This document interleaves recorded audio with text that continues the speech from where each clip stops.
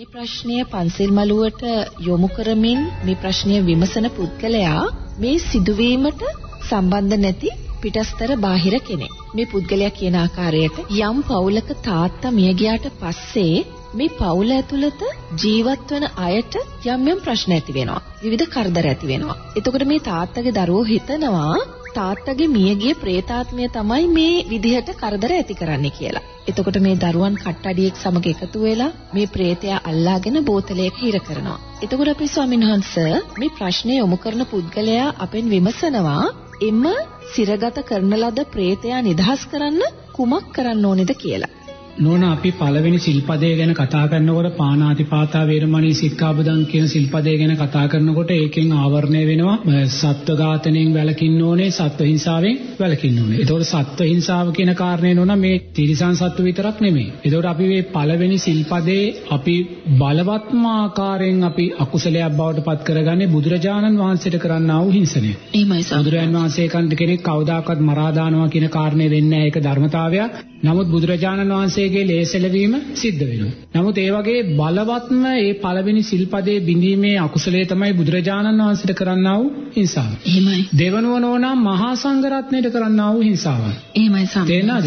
ඊළඟට අනාගාමී, සකු르දාගාමී, සෝවාන් ඵලයටපත් වුණා වූ පින්වතුන්ලාට කරන්නා වූ හිංසාව. එහෙමයි. ඊළඟට සද්ධානුසාරී, ධම්මානුසාරී පින්වතුන්ලාට කරන්නා වූ හිංසාව. එහෙමයි. ඊළඟට නෝනා සීලයක් සමාදන් වෙලා ජීවත් වෙන උපෝසත පංචශීලය ඊට අදාළව නෝනා වුණා අපේ අකුසල් විපාකයන් වැඩි වෙනවා. තේන්න?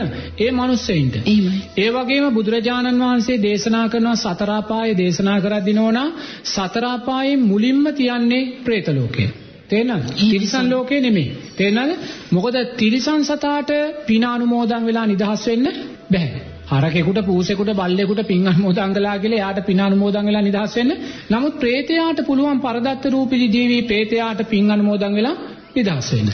ඒ නිසා සාරිපුත්ත මහරහතන් වහන්සේ සතර අපායේ පෙළ ගස්සනකොට උඩින්ම තියන්නේ ප්‍රේත ලෝකේ. දෙවටියට තමයි තිරිසන් ලෝකය තියන්නේ. ඉතින් එහෙමනම් එතකොට නෝන අපි ප්‍රේතේකට කරන්නා වූ හිංසනය අමනුෂ්‍යයෙකුට කරන්නා වූ හිංසනය සතෙකුට කරන්නා වූ හිංසනයට වඩා විපාකයන් වැඩි.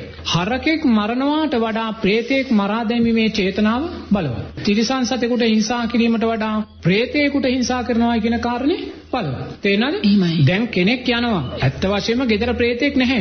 බාහිර කාගේ හෝ බොරුවකට රැවටිලා ඔන්න ගිහිල්ලා ලක්ෂයක් කියනවා දේවාලීන කප් මහත්තයා නැත්නම් කට්ටරි මහත්තයා කියනවා මට ලක්ෂ එකමාරක් දෙන්න. මං ওই ප්‍රේතයාව බෝතලයක දාලා හිර කරලා මරලා දානවා කියලා. එහෙමයි. දැන් එයා එකඟ වෙනවා. හරි. මේ ප්‍රේතයාව මරලා දාන මං ලක්. ඒ මොහොතේම නෝනා එයා ප්‍රේතේ ඝාතනය කිරීමට අදාළව අකුසලයෙන් භාගයක්ම කරගන්නවා. එහෙමයි. චේතනාව සකස් වෙනවා මරා දානවා කියන. ස්වාමිනස ප්‍රේතව මරන්න පුළුවන්ද ස්වාමිනහස? ප්‍රේතව මරනවා කියන කාරණේ අපි ඉස්සරහදී කතා කරමුකෝ. හොඳයි. චේතනාවනේ දැන් මෙතන සකස් වෙන්නේ. චේතනාව. දැන් කෙනෙක් දේවාලයකට ගිහිල්ලා කට්නලි මහත්තයෙකු ළඟට ගිහිල්ලා එයා කියනවා මේ ප්‍රේතයාව එලවලා දාන්න මෙච්චරක් ගන්නවා කියලා. එහෙමයි. එයා එකඟ වෙනවා. සල්ලි බඳින මොහොතේම නෝනා ප්‍රේතයාට හිංසා කිරීමට අදාළව අකුසලයක් නමුත් gedara ප්‍රේතෙක් නැහැ. එහෙමයි. gedara ප්‍රේතෙකුත් නැහැ. නමුත් අරයා චේතනාව සකස් කරගෙන. තේන්න. තොইলে කළාට පස්සේ අරයා අනිවාර්යයෙන්ම හිතනවා මම පෙරේතයව ගහලා එලෙව්වා කියලා. චේතනාව සකස් නමුත් gedara එලෙව් පෙරේතෙක් නැහැ. එහෙමයි. ඒ වගේනවා ප්‍රේතයාට කරන්නා වූ හිංසනය, ප්‍රේතයා කරන්නා වූ പ്രേත ඝාතනයන් තිරිසන් සත්ව ඝාතනයට වඩා අකුසල් වලින් බලවත් වැඩි. තේරෙනවද? එතකොට දැන් කෙනෙක් කියනවා අපේ ගෙදර තාත්තා ප්‍රේතෙක් වෙලා ඉන්නවා. ගෙදරට හිරියටයි කියනවා එක එක දේවල් කියනවා නමුත් ඒවා ඇත්ත වශයෙන් ඇත්තද කියනව නැද්ද කියන මම දන්නේ නැහැ. හොඳේ? හරිද? නමුත් ප්‍රේතයෝ හිංසාකාරී ප්‍රේතයෝ ඉන්නවා. එහෙම තියෙනවා.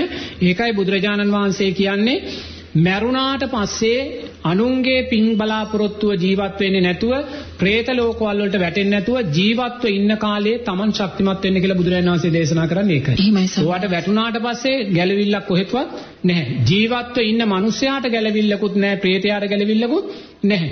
ඒ නිසා නෝනා දැන් gedara ඉන්නවා പ്രേතෙක්. අපි කියමු දැන් අපි හිතන් ඉන්නවා මේ අපේ තාත්තා ඉන්නේ කියලා.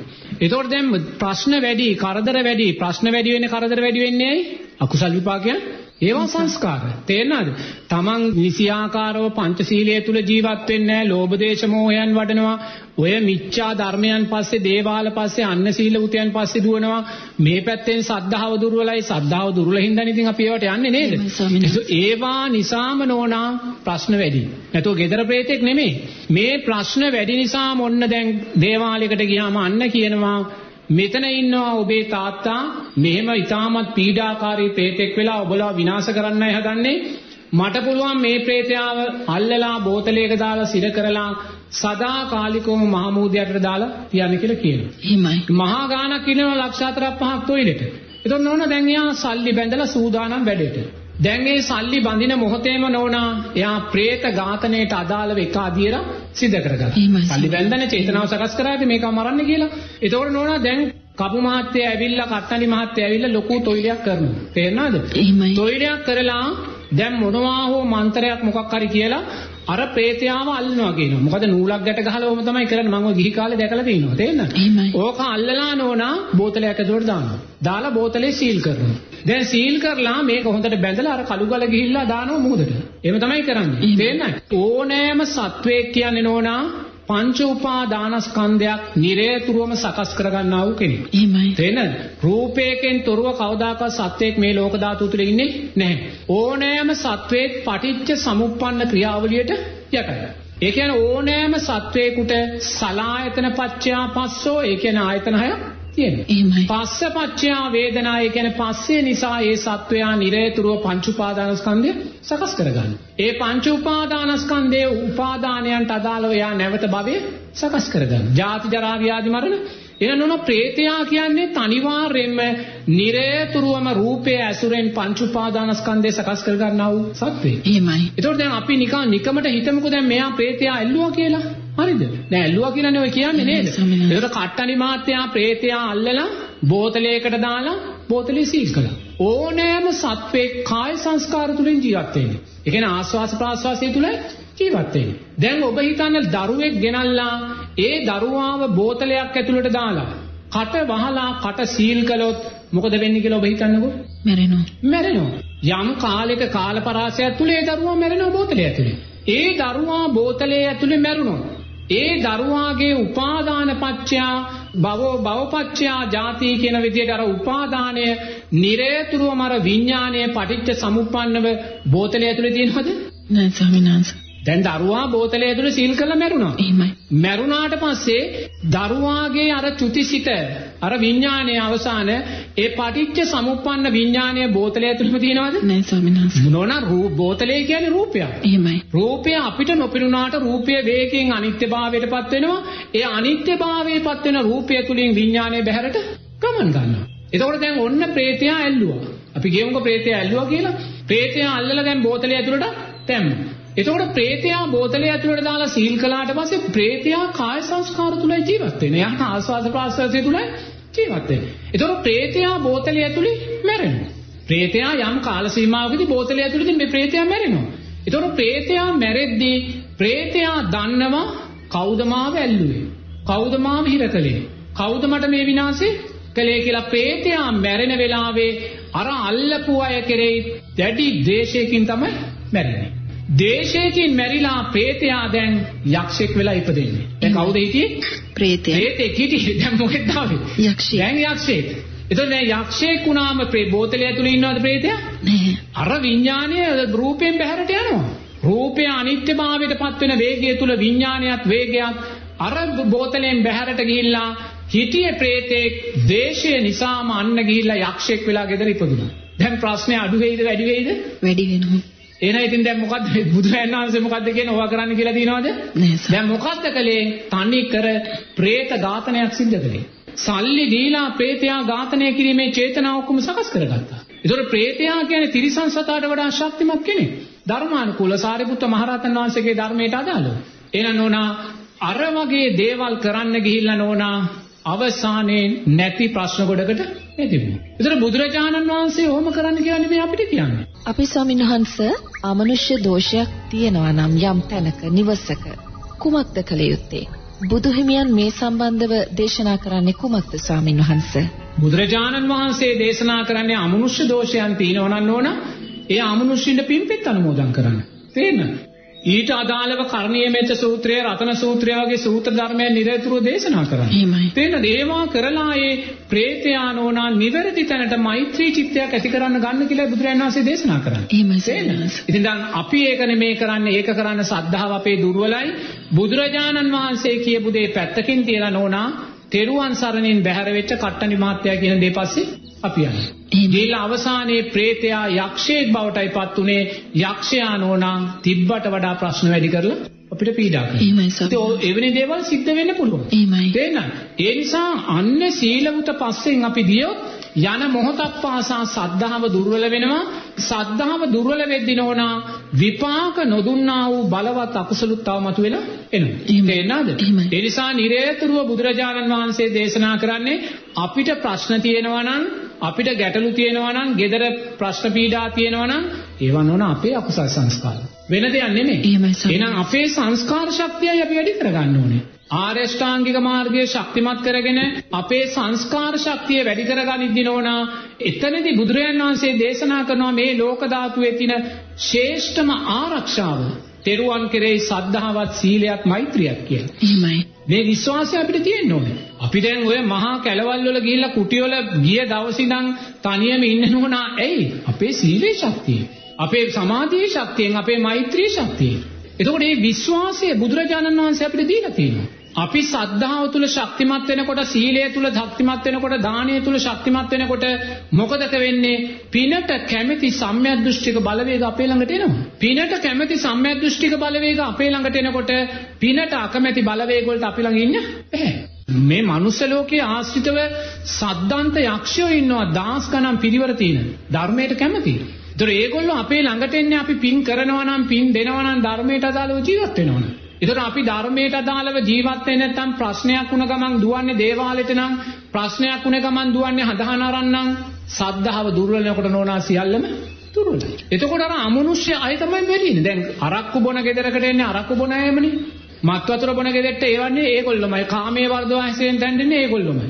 ඒ වගේ නෝනාර අධර්මයට අදාළව සිතුවිලි ක්‍රියාත්මක වෙනකොට සියලුම අධර්මයට අදාළ අමනුෂ්‍යෝ තමයි අපි වටා ඉන්නේ. එහෙමයි. එතකොට අපිත් මානසිකව දුර්වල වෙනවා. අපිට පිරිසිදුව ඉන්න හිතෙන්නේ නැහැ, ගේ දොර පිරිසිදුව තියාගන්න හිතෙන්නේ නැහැ, වත්ත පිටිය පිරිසිදුව තියාගන්න හිතෙන්නේ නැහැ. අපිත් പ്രേත මානසිකත්වයට අපේ ජීවිතත් එනවා. ඉතින් ඔහොම වුණාම නෝන අවසානේ මොකද්ද කරන්නේ? අර වගේ බලවත් പ്രേත හිංසනයන්ට ගිහිල්ලා තව තව තව තව බලවත් අකුසල් කරගන්න. ඒ නිසා බුදුරජාණන් වහන්සේ දේශනා කරන්නේ අපිට තියෙන ලොකුම ආරක්ෂාව සද්ධාවත් සීලයක් දානයක් මෛත්‍රියක් කියන කාරණාමයි නෝන. ඒ නිසා මොන ප්‍රශ්නාවත් බුදුරජාණන් වහන්සේ කෙරේ විශ්වාසයෙන් අපි ඔය කියන කාරණා හතර තුල ස්ථානගත වුණා නම් නෝනා ඒ ශක්තියෙන්ම ඔය තියෙන ප්‍රශ්න නැති වෙනවා. නමුත් අතීත අකුසල් සංස්කාර බලවත් නම් ඒව නැති වෙන්නේ නැහැ. තේන ඒක තේරුම් ගන්න ඕනේ. ඉතින් ඒක තේරුම් අරගෙන සම්මාදිට්ඨිය අර්ථයන්ට අදාළව නෝනා අපි පුළුවන් තරම් කුසල් ශක්තිය ශක්තිමත් කරගෙන අනතුරෙන් මිදීමේ දිශාවට යන්න අපි දක්ෂ වෙන්න ඕනේ. එහෙමයි ස්වාමීන් එහෙම නැතුව කවදාකවත් ප්‍රේතෙක් බෝතලයක දාලා සීල් කරලා මුහුද මැද්දට දාලා මරලා බෝතලය ඇතුලේ තියනවා කියන කාරණය ධර්මානුකූලව කොතනකවත් සත්‍යයක් බවට පත් වෙන්නේ නැහැ. ඒ ප්‍රේතයා බෝතලයේ ඇතුලේ මැරුණා නම් පටිච්ච සමුප්පන්න විඥාණය බැහැරට ගිහිල්ලා ඊට අදාළ උපාදානයන්ට අදාළව භවය සකස් කරගන්න. දේශයෙන් මැරුණා නම් පෙරේතයා බලවත් යක්ෂයෙක් වෙලා තමයි ඊළඟට උප්පත්තිය ලබන්නේ. තේරෙනවද? ඒ නිසා දැන් වැරදුනා නම් ප්‍රශ්නයක් නැහැ. දැන් වැරදිලායි තියෙන්නේ. වැරදුන තැන ඉඳන් නිවැරදි කරන්න ආයිමත් යක්ෂය අල්ලන්න කියලා තේරුම නැහැ. එහෙමයි. ඒ මොනොත් ඊටත් වඩා බලවත් විපාකයටයි එන්නේ. එහෙනම් මේ මොහොතේ ඉඳන් දකින්න අපේ ජීවිතේට යම් කරදරයක් බාධාවක් තියෙනවා නම් ඒ අපේ අතීත අකුසල් සංස්කාර. එහෙමයි. එච්චරයි. දැන් අපේ ජීවිතවලට කොයිසා අකුසල් සංස්කාර විපාකද ආවද අපේ ගී කාලේ. බලවත් අකුසල් විපාකෙට ආවා. නමුත් නෝනා ඒවා අපි ධර්මානුකූලව ගලප ගත්තා. අකුසලයට දෙන්න තියෙන සැබෑම පිළිතුර අපි දීලා අපි මෙතෙන්ට ආවා. ඒකට යට උනේ. ඉතින් ඒවාට යට වුණා නම් මටත් ඔයිල් 10ක් 15ක් කරන්න සිද්ධ වෙනවා. නමුත් අපි ඒවා කරන්න ගියේ නැහැ. ඒ නිසා ඒවා නොකරන්න ගිය නිසාම නෝනා අවසානයේ අකුසලයේ අකුසලයේ හැටියට කුසලයේ කුසලයේ හැටියට දැකලා ඒවා ධර්මානුකූලව ගලපගත්ත නිසා අපි අද මෙතෙන්ට ආවා. තේරෙනවද? එහෙම නැතුව අද අපි මොකද්ද කරන්නේ අර මිච්ඡා ධර්මයන් පසුපස ගිහිල්ලා නිරේතුරුවම එක්කෝ තොইল කරනවා හඳහන් බලනවා එහෙම නැත්නම් ගෙවල් වල උළුහව මාරු කරනවා මුදුල්ලි මාරු කරනවා මහා විකාර ගොඩක් කරලා. දැන් නිකන් හරි මගේ ගිහි ජීවිතේදී මට ප්‍රශ්නයක් ආපුවම මට කවුරු හරි කිව්වනම් මේ උළුහව මාරු කරන්න නැත්නම් මේ මුදුල්ලිය මාරු කරන්නද කියලා නෝනා? මං ඕක මාරු කළා නම් මගේ ප්‍රශ්නේ සමහර විට විසඳෙන්න. එහෙනම් මම මෙතන ඉන්නවද? ඉන්නවද? නෑ වහන්සේ ඉතින් එහෙනම් අන්න සීල උතලට ගියොත් නෝනා ධර්ම මාර්ගයේ Tamanට අවහිර වෙනවා. තේන මට ප්‍රශ්නේද්දි මම දේවාලෙ ගාන ගිහිල්ලා මම තොවිල් නැටුවා නම් සමහර විට ප්‍රශ්න විසඳෙන්නත් පුළුවන්. නමුත් එහෙනම් මං අද මෙතන ඉන්නවද? නැහැ. ඇයි එහෙනම් එහෙම වුනේ? අර අන්නේ සීල උතයන්ට ගියා අන්න නෝනා අපිව ගියේ වැරදි පාරටමයි.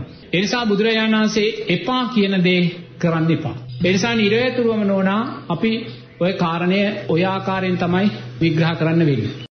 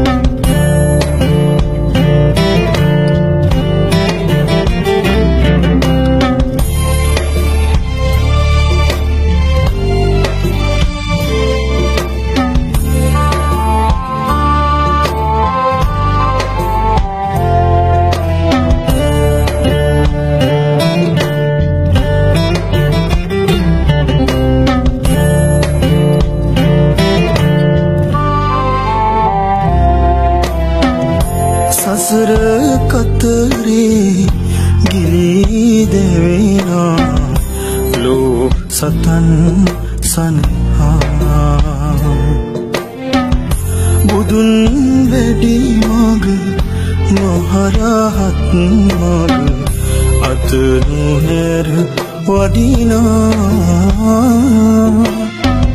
සසුනබරේ දිලෙනා. සුකුන් සඳ සසුන බබරවනා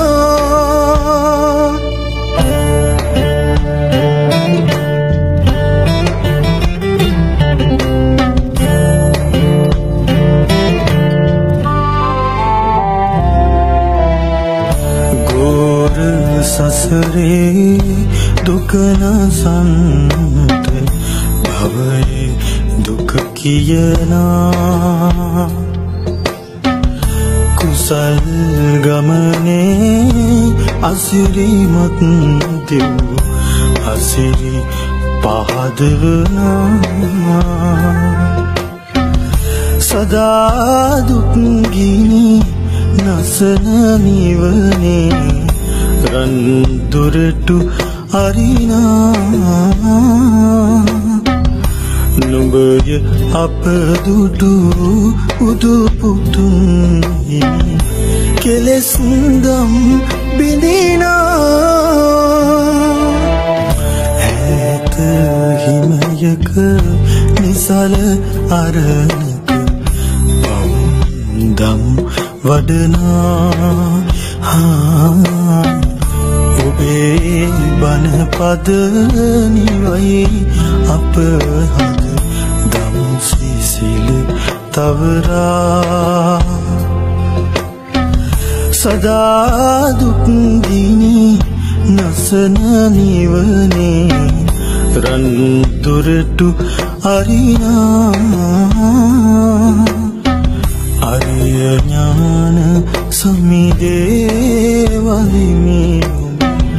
පාකමල නිබාදේ